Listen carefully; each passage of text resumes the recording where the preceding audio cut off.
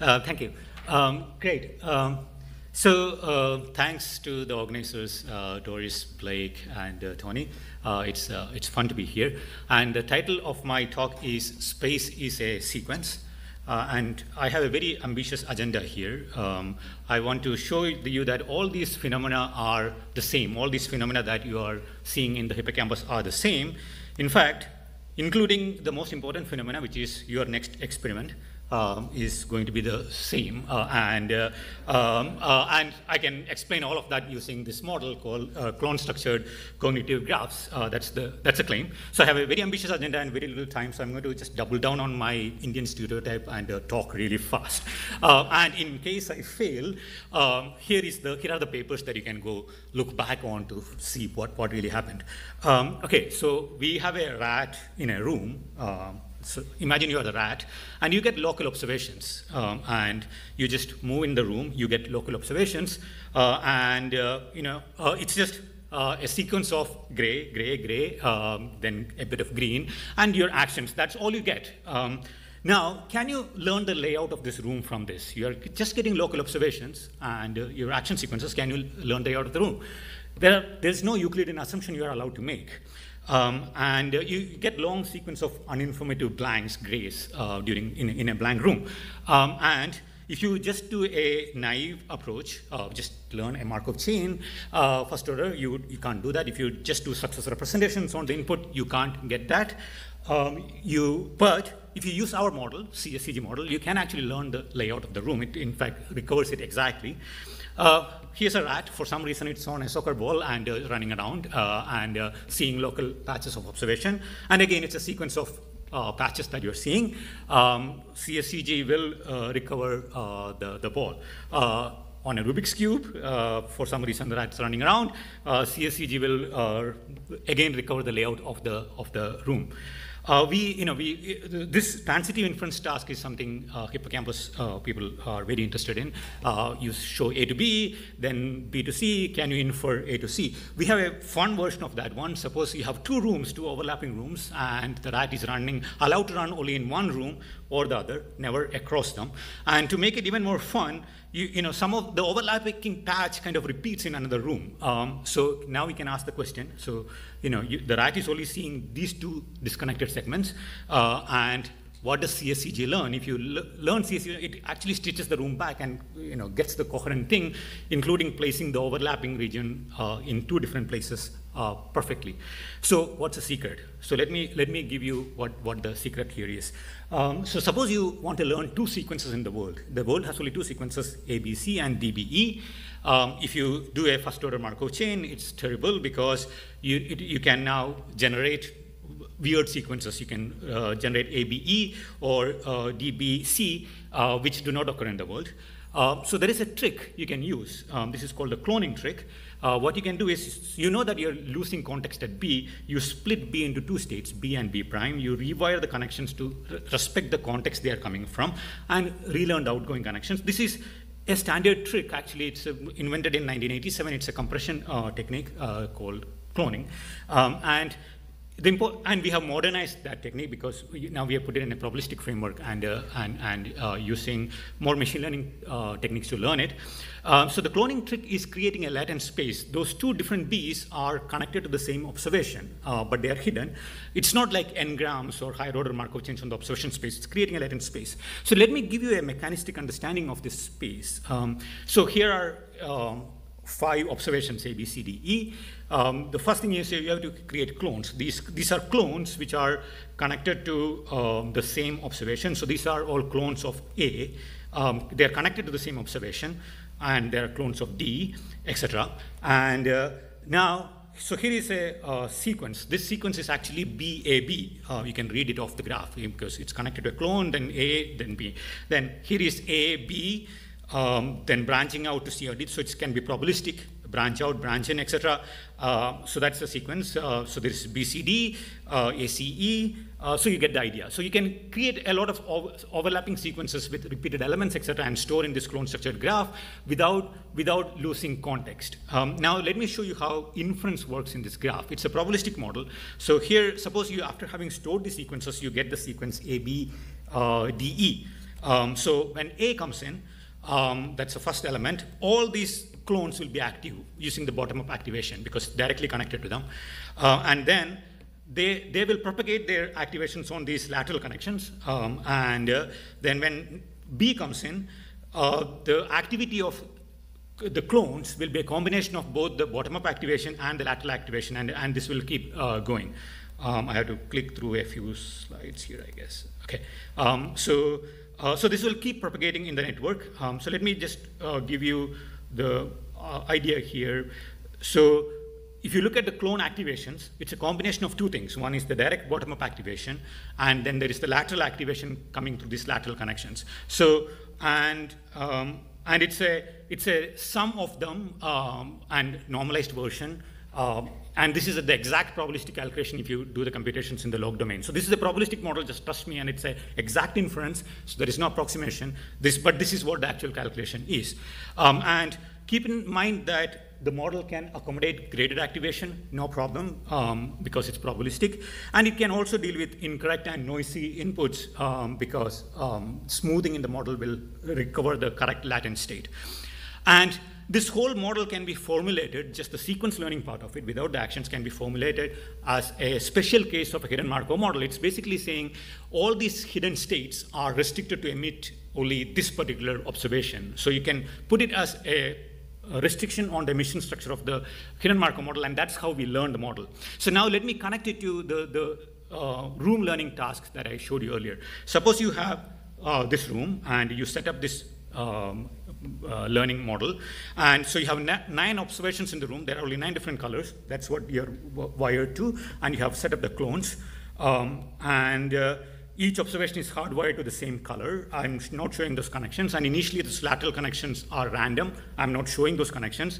But now after learning, which is we use EM algorithm to learn these lateral connections, this is what the graph ends up being. Uh, this is the actual graph. Um, and um, that's same as this graph. I just deleted the unused nodes. Uh, you can just rearrange those graph, and uh, uh, that's what it looks like. And uh, this is this is the graph that I showed you earlier. This is saying that this is the layout of the room. Um, now I can ask the question: What does this uh, neuron or a clone respond to? Oh, it, you see, it responds to the gray color, right? That's what it responds to. That's why I put the color in there. What does this neuron respond to? It also responds to the gray color. But the important thing to mind is that each of them are responding to the gray color in that particular sequential context. So what is the gray sequential context here? So this neuron will respond to the rat moving in that particular sequence, or this sequence, or this sequence, etc. So any sequence ending up there, the, that particular clone will respond to. And these are latent sequences. These are not observed sequences. These are latent sequences in the, in the model space, right? Uh, and um, so, so this is what the graph actually looks like keep in mind that there is no width, height, etc. in this graph. You know, you, you, uh, there is no location in this graph. This is what the rat learns. What this graph contains is really the ep compressed episodic experience of the, of the sequences. That's all that, that the, this thing contains. But now, as an experimenter, you might say, hey, I want to, I want to learn, do place fields. Uh, you know, I want to see what does this neuron respond to. For some reason, experimenters want to do that. Um, and this is called mapping the place fields. Um, and, uh, and I'm going to argue that almost all the phenomena that you see are just artifacts of doing this. So let's, let's do this, okay? Let's um, take this neuron and ask, what is the place field of this neuron? Um, so what we do is, we take the environment, we let the rat run in that environment, we draw a square which corresponds to that environment, we mark the spaces where things light up. That is the place field. Yeah, and it does correspond one to one to uh, this one. That is that's just a coincidence. But uh, but this is how we draw the place fields. Now you can ask the question: um, What will happen to this place field if I test the rat in an elongated room? Uh, now, if you keep this intuition of place field in mind, you'll get confused. If you keep this one, you won't be able to think about it. But so you have to go back to this original graph and say what will happen to this neuron uh, response place field if I elongate the room. So uh, let's do that experiment. We take the room, we elongate it uh, right here, uh, and we can do it because it's the same observation space. Uh, and you let the rat run in that room, uh, map the things, mark the locations. So here's the quiz what, uh, what, will it, what will the place will look like? If you have been paying attention, you should be able to simulate this in your head. The place will, will remap and it will respect the boundary uh, distances. Um, and uh, we get remapping relation, in relation to the boundary without having to have boundary vectors. So, and why does this happen? Um, so let me show you. You know, remember that that particular um, uh, clone neuron was responding to the sequential context. Now that sequential context will partially occur in two different places uh, in that in that new maze. Because you know like you know when it goes to a corner it will think that's in a corner. And when it go, walks back it will see that context again. So that's why the the remapping happens. Uh, nothing related to space or vectors or anything. It's just purely temporal uh, context uh, occurring, occurring in two different places. Um, and you know this you can show a variety of remapping. And what you just did is recreate uh, this very, very classic paper on uh, geometric determinants of uh, place field remapping, but there is no geometry. Um, it's just uh, sequences. Um, in fact, uh, these place field mappings are responsive to the, the, direction of travel. If the rat travels in one way, only one side of the lobe, uh, the, this remapping will happen. The, the rat travels in the other way, the, the other side will happen, and that's very clear in this picture. You know, this you, you can kind of simulate it in your brain, and so that's that's what um, it, it, it, it, explains it without having to try too hard. Um, without, it just came out of the model. And the same mechanism will also explain landmark vector cells.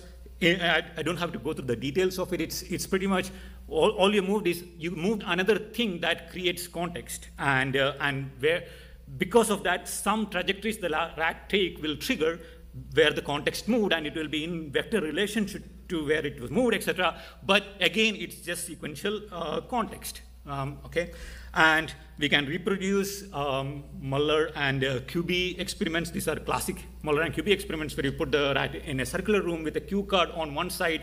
Now you're asking the question, what will happen if you rotate the cue card? Oh, the, the place will, will rotate because it's again the, the context moved. So, um, so it will it will rotate, uh, and you can create pretty much all of them. So, uh, in, so what I'm basically claiming is that many of these fascinating looking phenomena, which are all look puzzling, but those puzzling all come from just you know, deciding to plot the place field maps. If you do not use a like, you know, those things are not puzzling anymore because you don't want to characterize those place field maps using some mathematical formula, etc., because that's kind of characterizing might be an epiphenomena. Um, and uh, in fact, I'm going to say that all these X coding cells, where X corresponds to boundary um, or landmark or any other thing that you can think about, might all be just sequence learning, pure and simple. In fact, these are the lists of papers that uh, we were able to kind of replicate without doing anything, um, without just running this model on a variety of settings in these things. Uh, don't worry, we haven't done. I have left space for um, your uh, next experiment uh, right there. Um, okay, so um, uh, so now uh, let me um, go to a, a, more interesting question. Um, you know, here's a learned CSCG. you know, we have learned in a particular room. Can we use that to explore another room or understand another room um, with, a, with the same structure. So here, this new room has different observations. Instead of gray carpet, it has blue carpet, but it has roughly the same structure. It's a room with boundaries, etc. Um, so can we, can we do that? And uh, we can, we, what we do is, you know, so if you think of, about the model, there is this latent graph that is learned, and there is the way that latent graph makes contact with the world is through this emission matrix. That is what basically takes the latent graph nodes and say these graph nodes belong to this observation. Uh, and, but this emission matrix can be changed. So if you take the emission matrix away, what, what, you what you have is a schematic graph. What does this schematic graph encode? It just encodes the idea that all these nodes which are the same are connected in this particular way. These other nodes which are also the same are connected in this particular way without filling in the content of that particular node, right? It's, it's basically saying these are restricted to be the same and though they are connected in a particular way. That's what it is encoding. And so then you can learn a new emission matrix in a new room. And this learning is super fast. It's, it's extremely fast. Uh, and uh, you don't have to even see the whole room. Sometimes you can just see part of the room and it will, it will fill in the rest. Um, and uh, so, and when you do that, so a new set of colors can be filled into this schematic graph. So you can, you can ground the graph in a new environment using this new emission matrix. So I'm going to argue that um, whenever you learn maps, uh, there is another process which is basically going to uh, look at all these maps and extract the schema uh, CSCG out of them. And all these CSCGs or, or schema graphs will be in your brain uh, of course, the schemas will be fewer in number compared to the number of maps you have seen because the same schema can map to many different maps. So, uh, and, and when you're exposed to a new environment, you are simultaneously trying to see, oh, can I map the new environment through any of the schemas that exist in the brain by, by layering this emission matrix, which is extremely fast process, and also at the same time, uh, learning, uh, trying to learn a new map, and you know there will be some competition between them, uh, etc. So uh, so hopefully, I've convinced you that all these uh, different phenomena are all the uh, same, and it uh, can be explained using uh, pure sequence learning, and that's um, okay. And um, so, just just to give you an adv- this is the second last slide. This is all connected to a cognitive architecture that we are building um, in uh, at, at, Vicarious. Um, we, we, have been working on this for a few years. Um, I just want to give you a snapshot on like, you know, what are the different papers connected to that. One was the, this um, science paper that we published in 2017. It is a structured perception generative perception model which has feedback, occlusion reasoning, object-based attention, etc. And there was a dynamics model which has object-based dynamics uh, uh, connected to that. Uh, there was a concept learning uh, thing which uses both the dynamics model and this science, uh, this CAPTCHA uh, paper um, to learn concepts as programs, as uh, uh, abstraction on top of that. And kind of the second last step in that one uh, is the cognitive maps, and then we have to connect to language. That's the, that's the direction in which we are proceeding in using how, you know, how biological inspiration and uh, um, cognitive science, neuroscience, etc., can be brought together into into a you know cognitive architecture. Doesn't mean that this you know this will work or you know the first iteration is the right idea, etc. We we will keep iterating on these different pieces and also how it connects together. So if you want more information, you can uh, follow uh, us on Vicarious. Also, all the code for you know everything that I uh, did here is available. Uh, so just follow uh, or Vicarious on Twitter or follow me on Twitter because I have the coolest um, Twitter handle there. Um, and uh, thank you for listening.